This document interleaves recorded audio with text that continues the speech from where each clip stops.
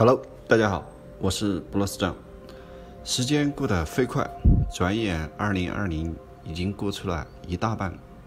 今天去小区楼下超市买点生活用品，和老板闲聊了一会儿。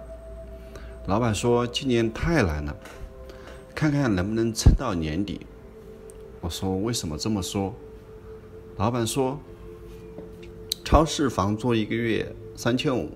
他还有一个五岁的女儿在读幼儿园，马上九月开学就是一万的学费，还有一个六个月大的儿子，奶粉、尿不湿等等，一个月这个小家伙就要花掉两千块钱。然后一家四口人的生活，最少就是买买菜、买买米这些，两千块钱加上手机通讯费肯定还是不够的。也就是一年的生活成本杂七杂八全部加起来接近十万元。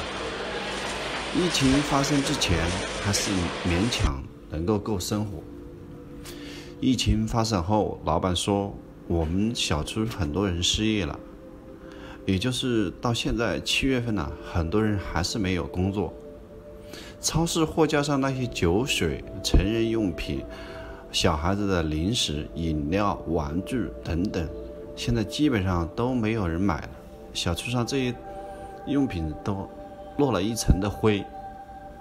啊，小区里人现在买的最多的也就是食用盐、酱油、大米、面条，也就是说保证基本饿不死，最最最基本的消费就是食食品，而且是主主主要的餐饮。其他的消费基本上全部停掉了，那没有营业额，他这个超市也就没有利润。再来谈谈我自己，我原本打算今年精准跨境电商，因为疫情也就暂停了，然后承蒙这么多年的一些老客户的信任，然后每个月或多或少都有一些 IT 技术的单子。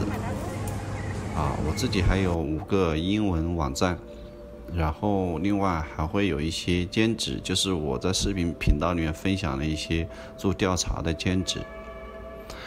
啊，勉强一家人生活吧。啊，我的家庭情况和大多数人家庭情况差不多的，就是一个人赚钱养活全家的这种模式。我相信很多大陆的同胞和我一样，时刻不能倦怠。因为背后有一个大的家庭。总之，今年很难很难。我希望大灾之年少一些灾难。但最近，江西九江、湖北黄冈很多省份啊都被淹掉了，很多人的房屋被毁，庄稼被毁。这对农村人来说是毁灭性的打击。我希望有能力的企业或者是个人帮帮这些弱势群体，因为天下苍生都是命。好，谢谢大家。